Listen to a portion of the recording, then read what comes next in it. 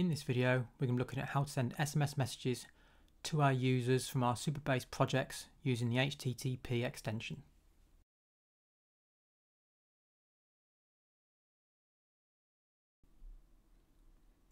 Okay, so this is the follow-up to the sending emails from our Supabase instances using the HTTP extension. Uh, now, in this one, we're going to be looking at sending text messages to our users. So we could be sending them codes for their uh, two-factor authentication. If you remember, I built a somewhat functioning two-factor authentication system, which you can go and take a look at. And part of that that we didn't get to was the was this section, the section where we um, were sending our users the six-digit code. So we did everything within the process, set the code up, and everything else we authorized the code, you had the times and everything on. The only thing we didn't do was literally send the user the code, and that's what this is going to tell us how to do. So this will link those two videos up. And then also, you know, if you're making a, a booking app, so reminding users of appointments, of anything you may send an SMS for, basically. So there is not a GitHub project for this one. We're on our own. So um, as usual, any code that you see on the screen will be available down below. Just click the link, copy and paste it, use it in your projects. Now, again, I'll start off here because the first thing you need to do is make sure that your HTTP extension is enabled. So it needs to be toggled green. And if it's not in your enabled extensions, you can either scroll down, pick it out of the list, or search for it in the uh, in the search box at the top. And once that's enabled, you're good to go. All this uh, all this should should work fine. So if we go to our editor, now this is pretty much the same as the original send an email functionality. Um, I've built this one myself because uh, there wasn't a project for it, so it's like I say, it's it's it's pretty similar. There's not that much different to it, so this shouldn't take too long, especially if you've seen the other video. If you haven't seen the other video, I recommend you watch it. So, but you don't need to. I'll, I'll explain everything as we go. So, this is the function that sends the SMS to our user and will connect to the the API for Sinch. I'm using the Sinch API. Unlike the Supabase Mailer project, we're calling this function directly uh, and we're doing everything within the same function. Um, and we're passing into it the user's UUID, which we're going to use to get their phone number. Basically, we're declaring these variables at the beginning and we are um, selecting out of our private keys our Sinch API key. Now on the Sinch um, API there is only one key, there's only the API key, not secret key. So we only need one. And then we've got the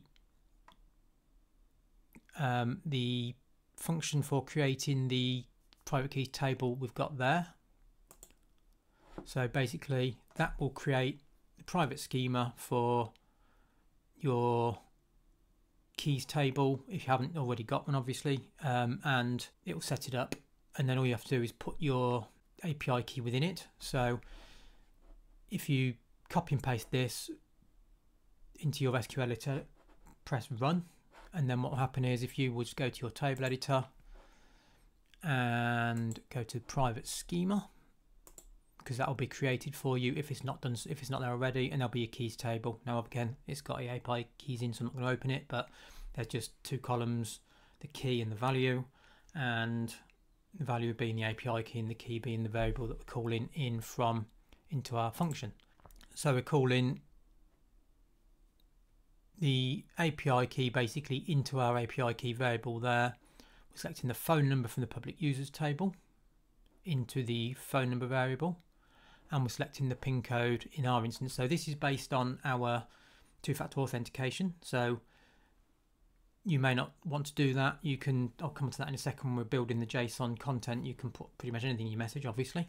Um, but what we're doing, we're selecting our, we've got the verified table, we're selecting the PIN code our users, we're selecting our phone number from our users table and we're putting all that into our JSON object. So the from number um, is given to you by your provider. In this case, that's the number since you've given me. Um, but before I get to that, actually, with the JSON build object function we're using, we're building, this is the, the JSON content, the, the part of the message that's the content. So if you go to the GitHub page for the SQL um, extension, this is how we build our requests. So we've got, we can build uh, the method, which is the HTTP method, which is post, get, etc. We've got the URI, which is the API endpoint, which is we need to include in our request. We've got the headers, which will contain our API keys. We've got the content type, which in our instance is application JSON, and then we've got the content. Now the content is what we're sending as the JSON. So this is what we're building here, JSON content, and we're building the JSON object because that's what the Sinch API wants as its content. It wants as a JSON object. And then two, the phone number, and obviously that could be multiple phone numbers, hence the use of an array because we can add many multiple phone numbers into that. And our body is basically when the pin code is not null, your six digit code is, else no code generated, is what's being sent to the user. Um, now in there you could actually put anything, you could put your appointment is, you could, you know, whatever, whatever you message you want to send to your users via the um, by via the MSS, that's what you put in the body. So if you think of it as an email, it's like your from is the number, the two is the email address, and the body is your email body. So it's just the same.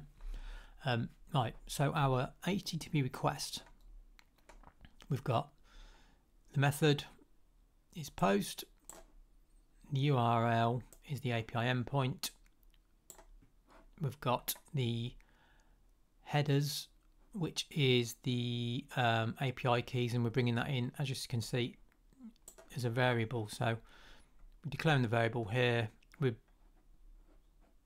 selecting it into the variable here, and we're putting it into the headers here as the variable in this just here. And then content type application JSON, and the data content type is the JSON content variable basically so this so we're putting that into the JSON content variable is going to be build object function where we created this which is what goes in our um, content here. So then in terms of the response we're receiving from the Sinch API in this one um, we're just receiving the response code. So um, basically so it will be hopefully a 200 or 201 which is the um, request has been received or you know anything else it will be an error some description. So now what I'm doing if I go in here to call this function so that is the user you, you that is the um, UUID of the user in the table. So I haven't got this set up to call this is all being done in Supabase. Um, this is not connected to a this particular function is not yet connected to the authentication project. So hence why I'm doing it like this. So, but if we go back to the send SMS, the we're bringing in as you remember the UUID of the of the user, where we're going to get their phone number and their PIN code. So again, this will you would pass in as a parameter from from uh, from your app, whichever framework you happen to be using. In our instance, Flutterflow would have a custom action, have an RPC call, call the send SMS um, function from there, and pass in the UUID of our user. But as we're not doing that, I'll just select it from here, and then what's going to happen is we will get the status code. And there you go. We have got a 201 status code, which means it's a successful request. So we'll go head over now to the Sinch API, have a look at that, look at the codes, look at the the way the request for the API call should be set up, and that should tie these two elements together. So on the Sinch dashboard, this is the documentation in actual fact. Um, so this is the example of how they want the the request set up. Again, you've got the headers, which is the authorization, which in with your application uh, with your API token in it, which I'll go back again and show you this in the Supabase instance so we can just do the comparison again. We've got the content type application JSON, and then we've got the message itself as a JSON, which is this section, and then we've got the API endpoint. That's how they want it set up. Like I say, and that's what we have got. So if I go to the error codes, so we had a 201, the post request was successful, and a new resource was created. So that's good. So what we're doing is making a successful request to the Sinch API to send an SMS message. And then if you get any of these errors, you need to look into them because you've obviously done something wrong. Unauthorized is if your API token's wrong, obviously. There'll be a number of reasons why you get forbidden requests, or not found is an obvious one that we all know about. But if you follow this information that I'm giving you and copy and paste the code, and you do want to send text messages, it should connect fine. Now, the only obviously caveat to that is that I'm using the Sinch API. Again, I have no affiliation whatsoever. It's just the one I picked. Um, but there are many, many of these available. So, and they all will be slightly different. So you want to make sure that your request is yeah uh, compatible with the way they want to receive it, which it should be. To be fair, um, because it's, it's it's pretty straightforward. So let's head back to the Supabase and go into here. We have got say the uh, the the the method is post. So we've got that there.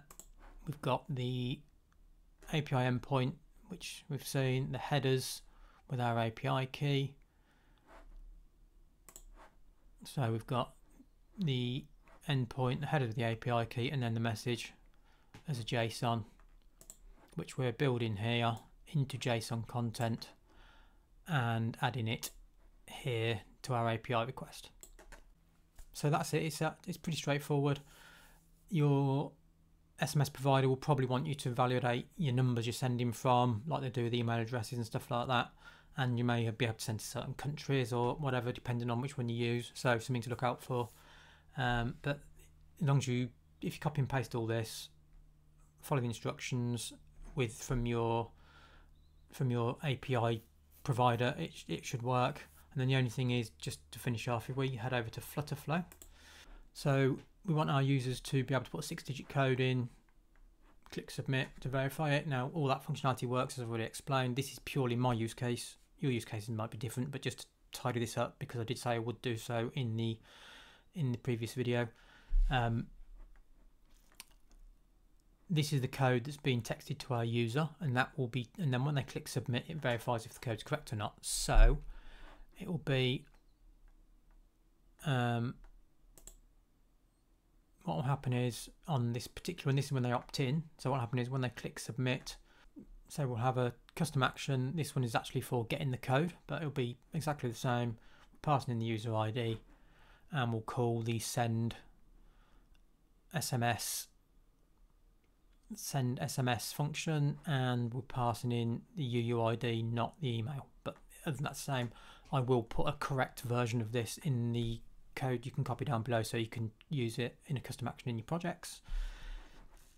And that's it really. That's that's how you do it. Say it's pretty straightforward. It's just as straightforward as the um, as the email. In fact, probably slightly more so because you're only dealing with one API key and we're only doing it all in one function.